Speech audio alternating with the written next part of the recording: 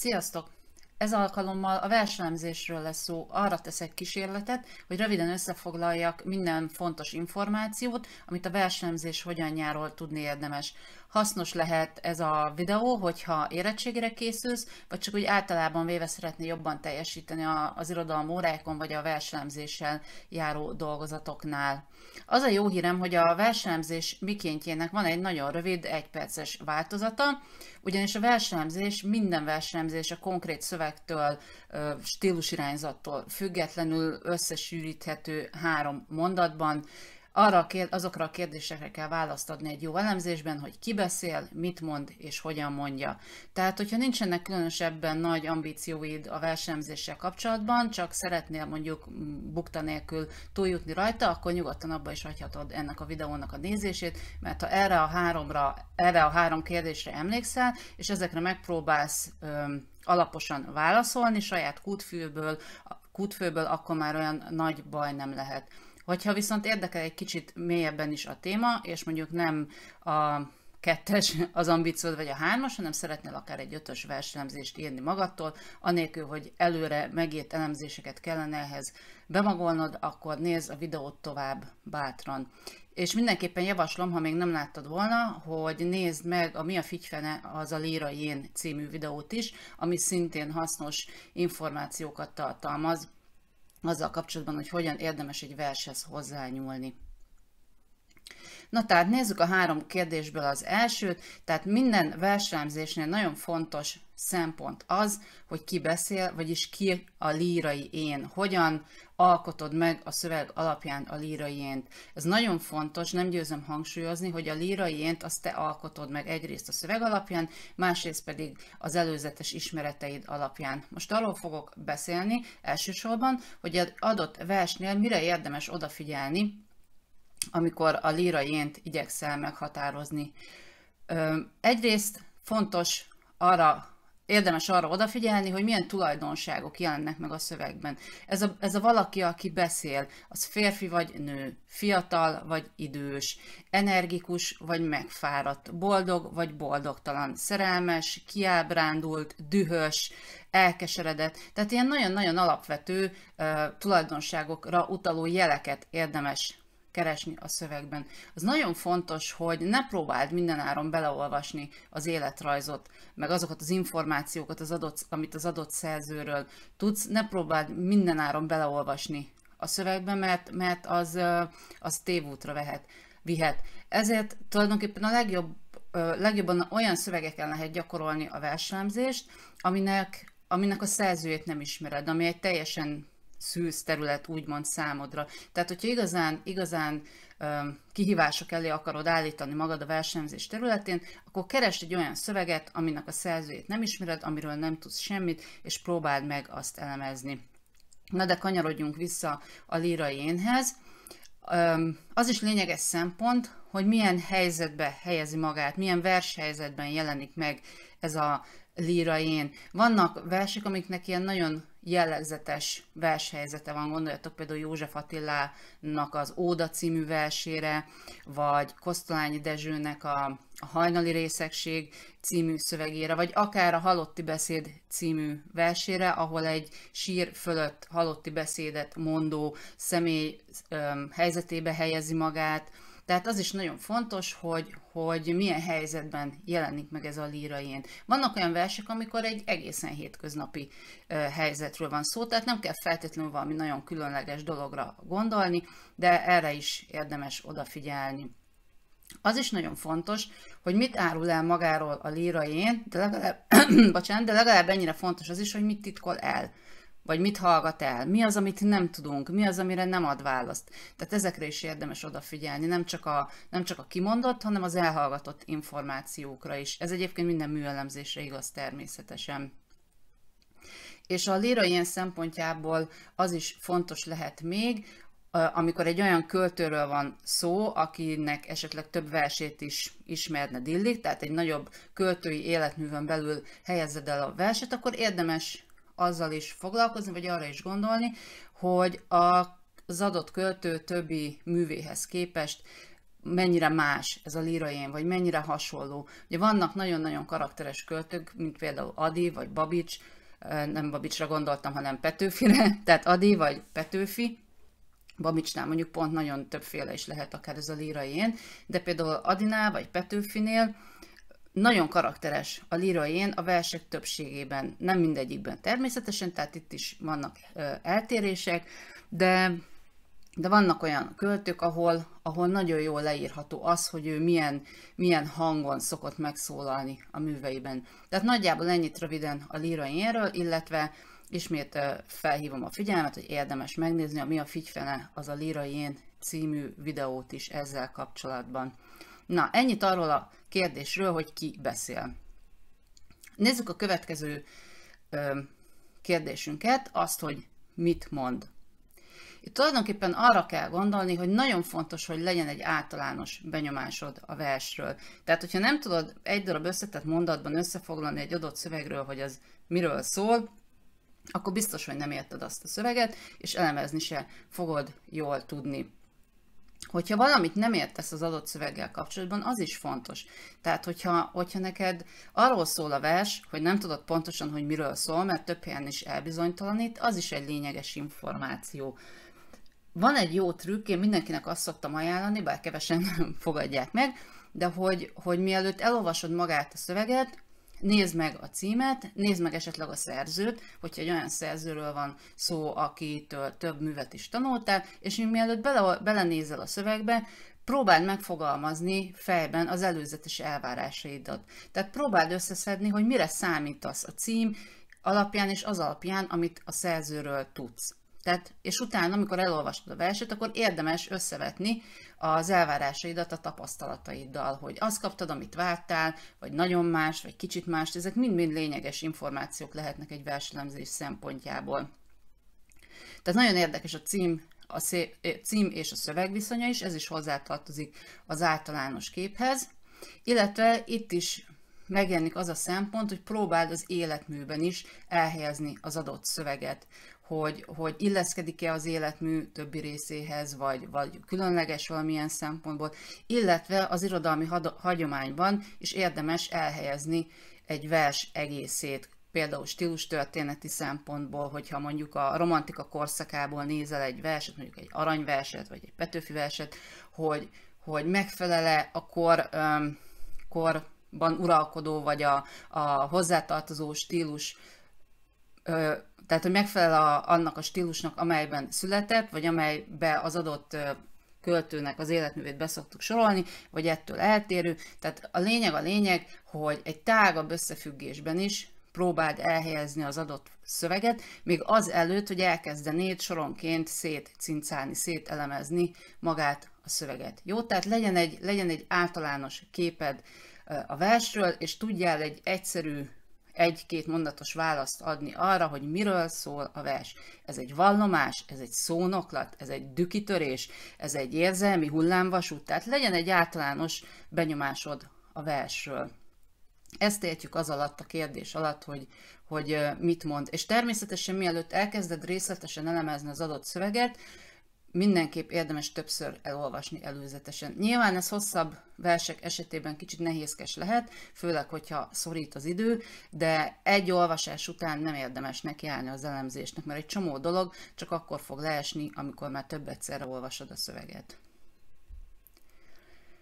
Ennyit az első két kérdésről, és nézzük a harmadikat, azt a kérdést, hogy hogyan mondja. És tulajdonképpen ez a verselemzésnek a legnehezebb, de a leglényegesebb része, hiszen a szépirodalmat pont az különbözteti meg a hétköznapi nyelvhasználattól, hogy máshogyan bánik a nyelvvel, hogy máshogyan fejezi ki a mondandóját, és a verselemzésnek a legfontosabb része, ha úgy tetszik a gerince, akkor az az, hogy, hogy milyen módon teszi ezt az adott szöveg, miben tér el a hétköznapi nyelvhasználattól, tehát mennyiben más, mint egy közönséges szöveg.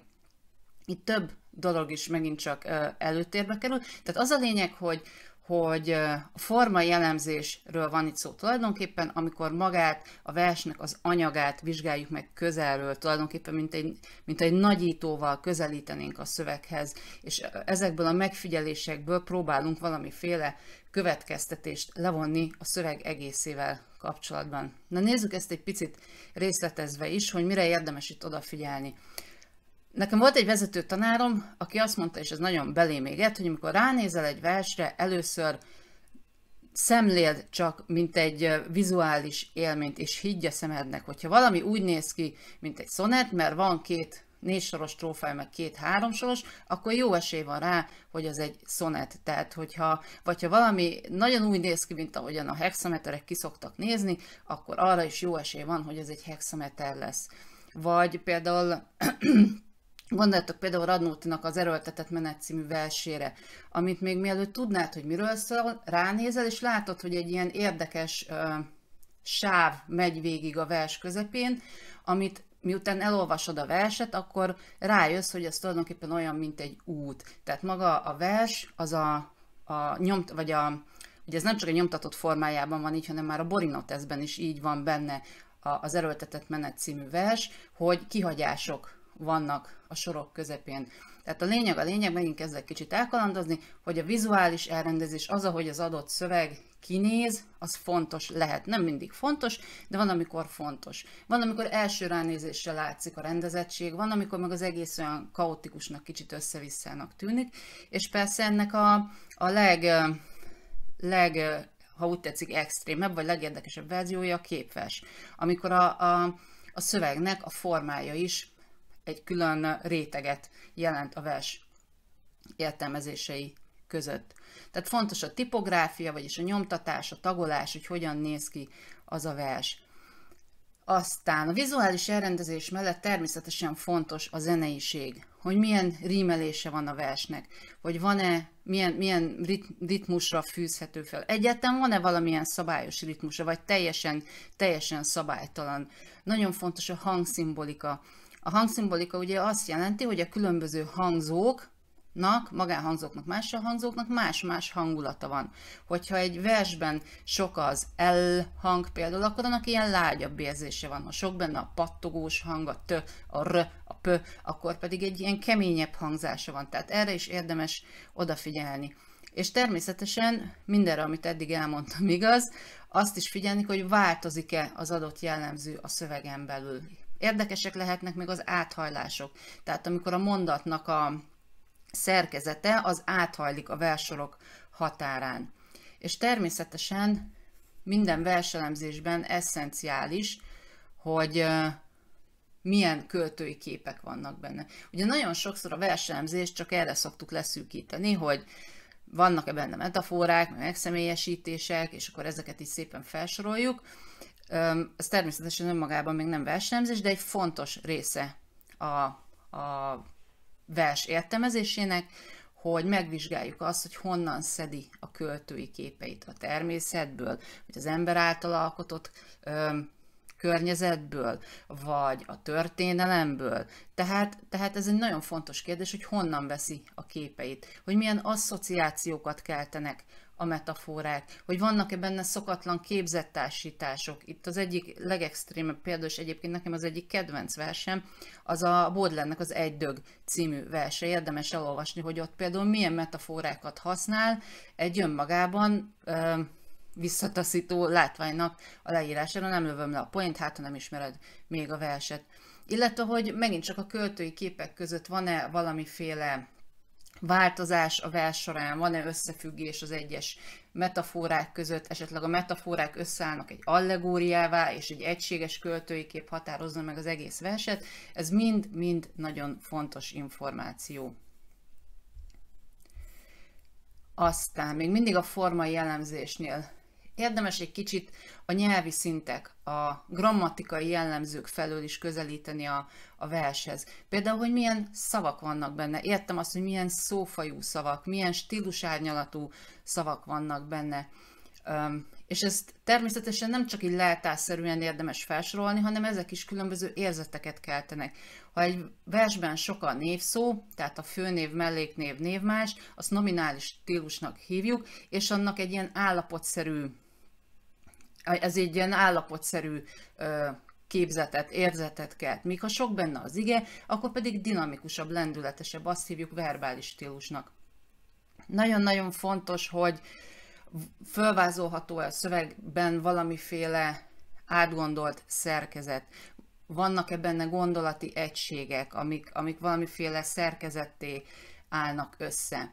Nagyon fontos, hogy milyen az adott szövegnek a hangneme, a hangulata, hogy ez, ez változik-e a versek során. És természetesen nagyon-nagyon fontos, és az előzőekkel összefügg, az, hogy milyen műfajba sorolható a vers egyáltalán besorolható -e egy műfajba, vagy hogyha a címben meg van jelölve egy műfaj, akkor megfelele a műfai elvárásoknak. Ugye a műfajok meghatározásától is így szoktak félni a diákok, pedig tulajdonképpen az, hogy mi milyen műfaj, az egy hót egyszerű dolog, egy műfaj, egy műfajnak a sajátosságát az adja, hogy mi a témája, és az adott témát milyen nyelvezetben, vagy milyen nyelvezettel, milyen hangulattal dolgozza föl. Ennyit jelent a műfaj, és nem mást. És itt is nagyon fontos, hogy van-e konkrét vagy rejtett utalás az irodalmi hagyományra.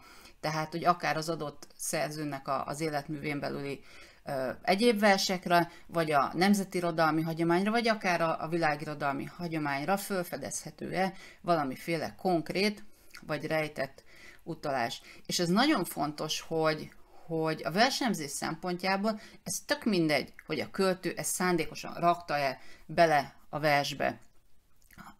Nem az a lényeg, hanem hogy neked felidéze valamit az adott szöveg, valamilyen irodalmi hagyományt a fejed. De most hirtelen a Sionhegy alatt című adivers jut eszembe, ahol, ahol a Mikulás Mikulás, tehát az Isten van megjelenítve, de azért mondtam a Mikulás szót, mert az Isten egy ilyen, egy ilyen nagykabátos, öreg bácsként jelenik meg, amiről szerintem egy 20.-21. századi embernek nagyon egyszerűen beugrik a Mikulásnak a képe. És ez akkor is egy teljesen valid megállapítás, hogyha Adi Endrének eszébe sem jutott a Mikulás. Valószínűleg nem is volt, sőt szerintem biztosan nem is volt még egy olyan erős uh, Mikulás kultusz akkoriban Magyarországon, amikor ő ezt a verset írta, de ettől még az, hogy itt az Isten úgy van ábrázolva, mint egy télapó, az egy teljesen valid megállapítás.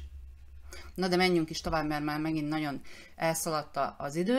Végezetül szeretnék néhány, szeretném néhány zsákutcára, nagyon gyakori zsákutcára fölhívni a figyelmet, ahogyan a, amelyek azt jelentik, hogy nagyon sokszor a, a versenyzés minden jó szándék és minden befektetett munka ellenére sem sikerül igazán jól, és nagyon sokszor belefutottam én is tanárként olyan helyzetbe, hogy valaki meg volt róla győződve, hogy mindent leért, és egy tökéletesen jó versenyzést rakott össze, és mégsem tudtam rá mondjuk jelest adni. Jelest adni. Az egyik ilyen jellegzetes, gyakori zsákutca az, hogy a versenyzés az átmegy ilyen leltárba. Tehát, hogy hogy így felsorolódnak a dolgok, hogy nagyon ügyesen beazonosítja a diák az összes ö, szóképet, megmondja, hogy melyik metafora, melyik megszemélyesít, és még mondjuk a színek dohét is fölismeri, nagyon jól észreveszi az alakzatokat, a kihagyásokat, a, tehát na- nagyon, nagyon gondosan összerak egy leltárt dolgokról, viszont az egész nem áll össze egy értelmezési. Az nagyon fontos, hogy a versenyzés nem az, hogy megmondod valamiről, hogy az metafora, hanem megpróbálod értelmezni azt a metaforát, értelmet adsz az egyes jellemzőknek. Az egészből összeáll, összeállítasz egy ilyen egységes értelmezést. Másik nagyon gyakori zsákutca, és az egyik uh, leggyakoribb vád a magyar tanárokkal szemben, hogy ők csak a tankönyvet kérik vissza, hogy nem fogadják el az egyéni véleményt, hogy nagyon korlátozóak, vagy korlátoltak pontosabban, és hogy nem adnak teret az egyéni értelmezéseknek.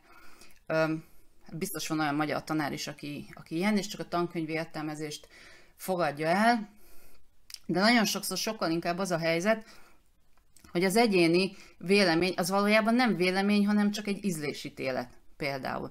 Ezért értem oda, hogy ez szerintem az nem érv. Tehát lehet egyéni véleményed a versről, az is nagyon fontos, hogy nem kell szeretni az adott szöveget, nem kell, hogy neked tetszen az a vers, nem kell, hogy jó véleményed legyen akár a költőről, nyugodtan írhatod azt is, hogy, hogy szerinted az egy rosszul sikerült mű, vagy szerinted nincsen sok értelme, Pontosabban lehet az a véleményed, hogy ez egy rosszul sikerült mű, de az, hogy szerintem az kevés. Érvekre van szükség. Ez nagyon-nagyon fontos. Tehát lehet egyéni véleményed, de érveld meg. És lehetőleg a szöveg alapján érveld meg, vagy az irodalmi hagyomány alapján érveld meg. Tehát az, az hogy szerintem ez ez meg ez, az, az nem érv, bármennyire is szomorú. Megjegyzem, akkor sem érv, ha a magyar tanár mondja. Tehát, hogyha a magyar tanár nem érveli meg a saját álláspontját, akkor az ugyanúgy problematikus, mintha a diák nem érveli meg. Az is egy nagyon gyakori zsákutca, hogy arra akarnánk rájönni, hogy mire gondolt a költő.